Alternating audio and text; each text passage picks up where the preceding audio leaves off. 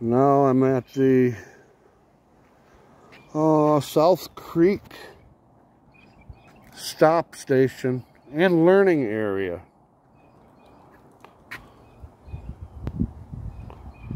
So there's a map that shows you where you can go and how far it's going and all that crap. And some more local lore about the area. It's all over.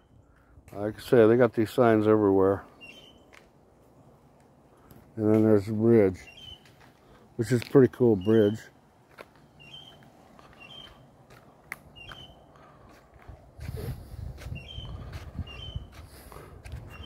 Hundred and some year old railroad bridge.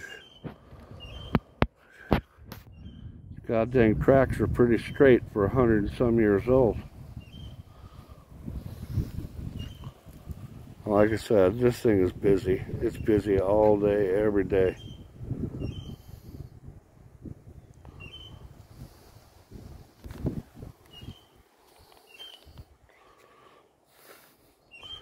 But they really keep the area nice.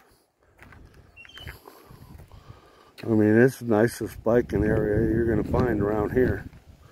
You take this down to the Venice uh, Venetian Waterway trail and you got you got to have a nice ride. The thing is, it's basically straight until you get down to the actual Venetian waterway park.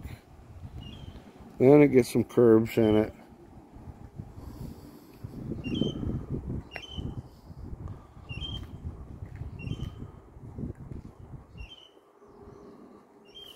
So that's that.